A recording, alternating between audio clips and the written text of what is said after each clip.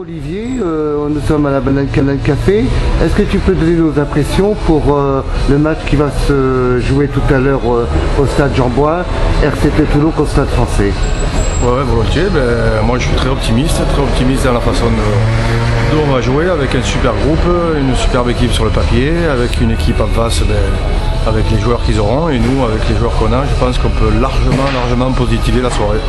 Est-ce que tu penses que Toulon va rentrer donc avec euh, les points de la victoire, surtout que Johnny Wilkinson euh, est rentré très rapidement pour euh, jouer ce match? C'est à souhaiter, c'est à souhaiter parce que là, on y croit vraiment. On a une superbe soirée à passer et à prendre les 4 points. 5, il ne faut pas être trop gourmand, mais 4 points, je pense que c'est possible. On, on y croit et on y croit dur comme faire, surtout bien entendu avec le retour de, de Johnny qui va nous apporter la, la qualité de jeu qu'il nous apporte et, et le groupe surtout qu'on a et avec les valeurs et, et le muguet dans le cœur. Alors, euh, un résultat, un, pronos- un pronostic? Pronostic, à, je veux dire 22 à 15 pour nous.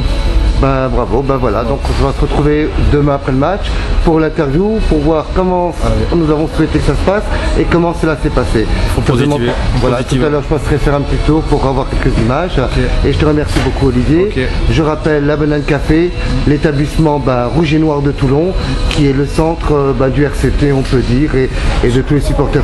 Ok. Merci Olivier. Euh, tu es donc un fidèle supporter du, spo- du rugby club toulonnais. Depuis 40 ans. Nous sommes au Club House. Comment sens-tu euh, ce match qui va se jouer tout à l'heure euh, entre le Stade français et le Rugby Club Toulonnais déjà, j'espère qu'on va faire un résultat euh, au Stade français. Et je, je crois beaucoup à la, la charnière Mignoni Wilkinson et la paire de, de centre euh, Conte Pomi, Sonny Bill Williams. Bon, c'est vrai qu'on n'est pas complet non plus. Il ne faut pas dire que le Stade français n'est n'est pas complet. Ça, c'est la vérité. Mais nous non plus, nous ne sommes pas complets. Parce qu'il nous manque quand même toute la, la ligne maîtresse. La rentrée de Johnny Wilkinson à Toulon, qui aurait dû rentrer plus tard et qui rentre plus tôt. Donc euh, Johnny, c'est quand même un grand champion, un travailleur hors pair. Euh, il mène le 15 de la Rose. Euh, Penses-tu que Toulon va revenir de Jean-Bois avec la victoire? Je l'espère du moins, je l'espère.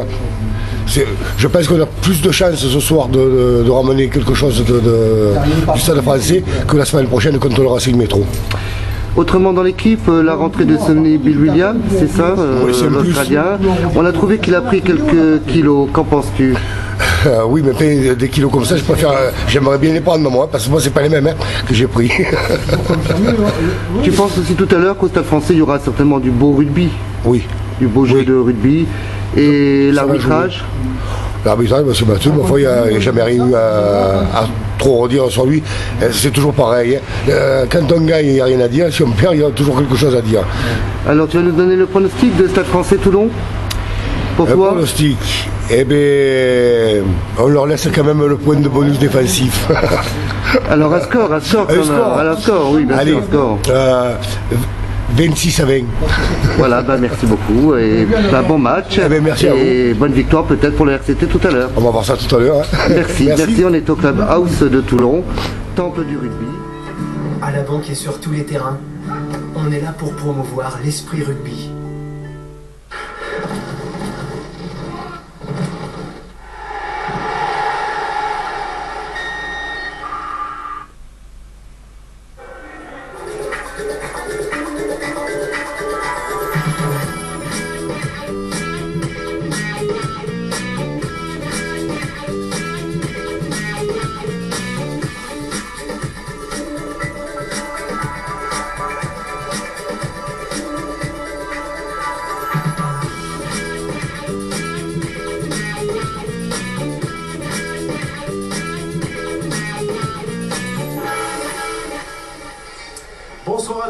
Bienvenue au stade Jean Bouin. Nous sommes à Paris pour cette rencontre de la 14e journée du top 14. Dans un instant, le stade français affronte le rugby club toulonnais. C'est la première journée des matchs retour et avec nous Thomas Lombard pour commenter cette rencontre. Salut Thomas. Salut.